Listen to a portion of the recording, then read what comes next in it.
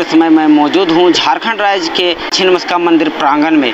इस वक्त आप देख सकते हैं, मैं मौजूद हूँ प्रांगण में और यहाँ हज़ारों की तादाद में आज श्रद्धालु माँ की पूजा अर्चना करने पहुँचे हैं। आपको बता दें कि छः दिन बाद ही नववर्ष आने वाला है, जिसको लेकर रजरप्पा मंदिर में अभी से ही पर्यटकों और श्रद्धालुओं का आना शुरू हो चुका है। रोज़ाना हज़ारों की संख्या में यहाँ श्रद्धालु आते हैं, माँ की पूजा अर्चना करते हैं। इसके बाद मंदिर के चारों ओर मनोरम वादियों में पिकनिक मनाने का लुत्फ उठाते हैं। इस वक्त हमारे साथ मौजूद है मंदिर न्यास समिति के सचिव।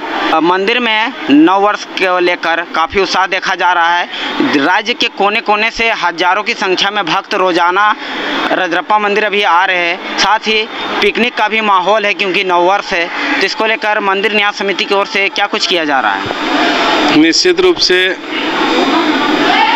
2024 आने वाला है और समस्त सनातन धर्म प्रेमियों को मैं शुभकामना देता हूँ, माँ भगवती की मंगल कामना देता हूँ। पूरे भारतवर्ष हमारा उत्थान हो, विकास हो, अग्रसर हो, यही कामना माँ भगवती से हम लोग हमेशा करते रहते हैं। क्योंकि एक प्रथा रही है बनभोज का, जो अभी आप लोग पिकनिक बोल रहे हैं। बनभोज के लिए यहाँ पे निश्चित रूप से इसलिए उत्तम स्थान है कि दो नदी है, भैरवी और दामोदर। दोनों के संगम के तट पर बहुत बड़े बड़े से पत्थर हैं। सबसे पहले भक्त आते हैं स्नान ध्यान करने के बाद माँ भगवती का पूजा पाठ करते हैं।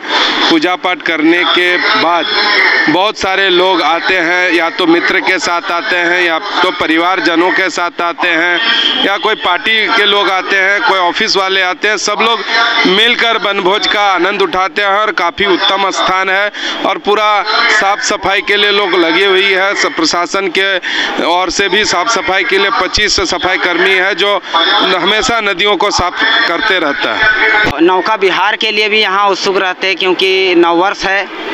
यहाँ पे बोले तो आपको उत्तम स्थान है। माँ भगवती का आप आशीर्वाद भी प्राप्त कर सकते हैं।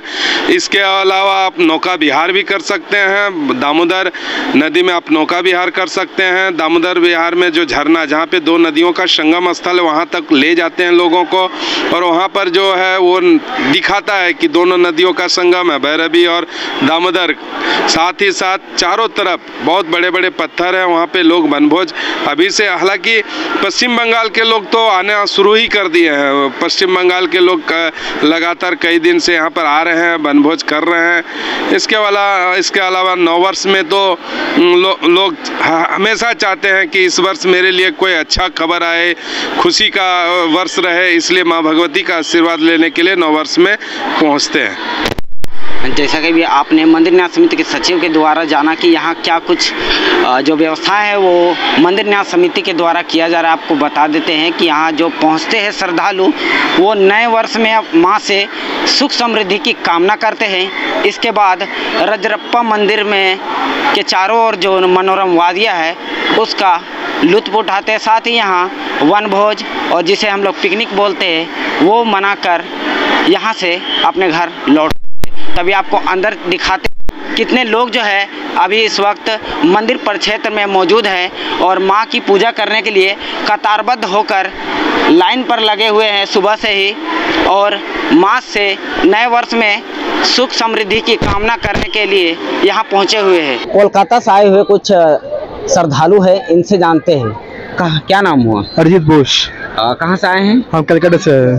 कैसा लग रहा है आपको माँ उसका का मंदिर? बहुत अच्छा बहुत अच्छा। मंदिर भी अच्छा है इधर का जो बोटिंग है वो भी अच्छा है। एकदम बहुत ही अच्छा पानी तो एकदम अच्छा है। कैसा लगा माँ का दर्शन करके? बहुत बहुत अच्छा लगा।